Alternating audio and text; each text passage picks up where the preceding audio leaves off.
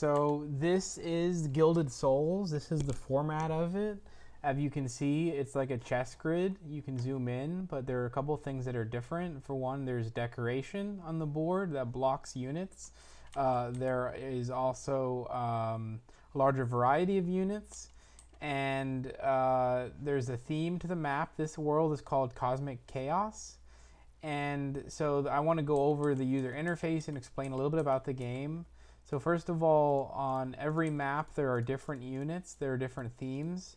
This map is Cosmic Chaos, and so you win by killing the other player's Cosmic King. And so uh, you have all the different units that do different things. Like you have a Holy Warrior, which does buffs, an Arcane Fox, which is a defensive magic caster. You have healers, you have a Resurrector, you have a unit that can give haste, Lightning Mage, you know, Storm Drake. You have all these different units that can do different things. Uh, you can click on the unit while you're in inspect mode. If you see this up here, this is the action mode bar that lets you switch to different action modes. Right now I'm in inspect mode or select mode. Lets me select different units. When I press U, I toggle the visibility of the unit control panel, which allows me to see all of the stats for a unit and their abilities. Every unit has three abilities, and I can press A to make the ability preview panel appear or disappear, and it says what an ability does. So iridescent light, cost two. If I mouse over it, it gives you a description of the spell. Magnitude eight, and then if I see what it is, it's a heal. So it heals eight. It directly heals a unit. It's unit direct, and it's on a square, and this is the pattern of it. So that's what it, uh, let me see, did that do that? Okay. Um, so that is the ability preview panel. And so when you're playing the game, if you don't have all the abilities memorized, you click on a unit and then press F1, F2, or F3 to switch your selected ability. Notice it goes red. And then you can look at the ability preview panel to see what an ability does.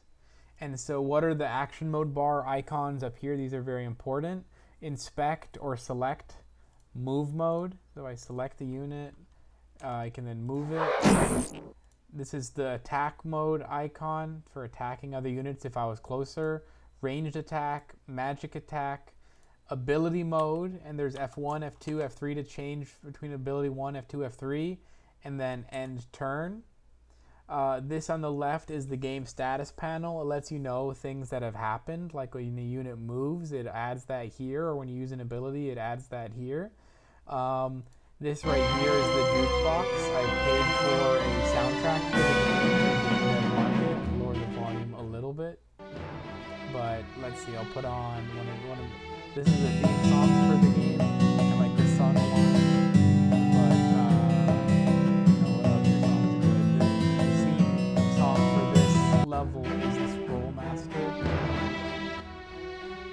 That's the Scroll Master. And so this is the general format of the game. It should give you an idea. It's like chess or with Dungeons and Dragons or World of Warcraft elements. You have your healers, you have your tanks. Like this bear here is very tanky, has high armor, um, high attack, but it's slow.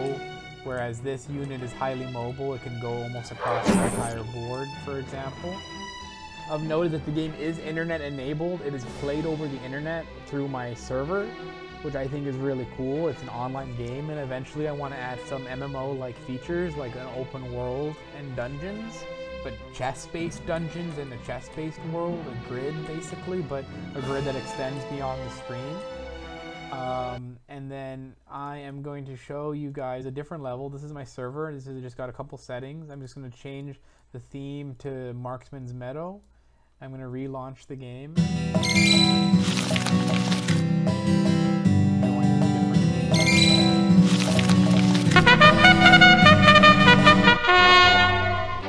Lower the volume.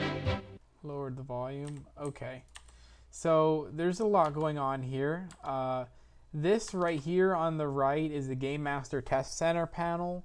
I can use it to do things like to the board, or add a change the wind from let's say north well let's say I'll leave it at north and let's say I want to make my fire tornadoes move tornado move tornado moves and it leaves a uh, fire behind it. Note that tornadoes have a chance to move whenever you trigger the tornado movement function. They don't always move. So there's like it mimics natural weather. And so at the end of the turn, based off of the direction of the wind, the wind is north. Uh, the fire tornadoes will move. The, thund- the thunderstorms will move.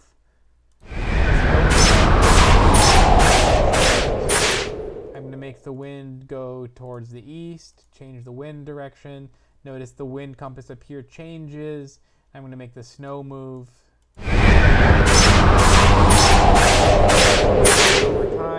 Ice behind it. And so there's a, that's the Game Master panel that controls weather uh, for testing purposes. But the overall vision of this level is that you have your Forest King and your Marksman, which have the ability Elemental Shot. An Elemental Shot changes its abilities depending on which element you have selected. So if I use, uh, just like with the Game Master panel, I could summon a Thunderstorm for testing purposes. In the actual match itself, if I select my Marksman and use Elemental Shot, I have Lightning selected, I summon a Thunderstorm. Or if I have another one, I've already used an ability with this unit, so I can't use another ability. So if I select Fire, I summon a Fire uh, ability, and the Fire can spread over time. And so all these different elements at the bottom, there are seven of them. When you select them, they can use a buff or a heal on your ally. They can affect the terrain in some way, like causing a fire or a snowstorm or a thunderstorm, or I can, you know, make water. You know, make water. Um, and so in this specific map, Marksman's Meadow, this map is more complicated than the first map, Cosmic Chaos. You know, it's like chess, but there are these dynamic weather elements. You know, you have fire tornadoes that spread fire, and the wind changes direction, and the thunderstorms do damage to units that are nearby them, etc. But this should give you enough of a view of the game to let you know if you're interested in helping either as a tester or a game designer. Uh, there's still a lot of work that needs to be done. This level is still in alpha. I've only been making it for the last couple of weeks, but it's come along really well. And that's uh, literally yesterday, is in Christmas Eve. I made the Game Master uh, Test Center panel for being able to precisely test the wind uh, elements to make sure that they're all working properly. This level is not working perfectly just yet. It's about 90, 95% of the way there, but getting that last 5% down is very tricky when you have all these different weather elements that all play into each other uh, in different ways. But yeah, this is a quick overview of the game. Thanks.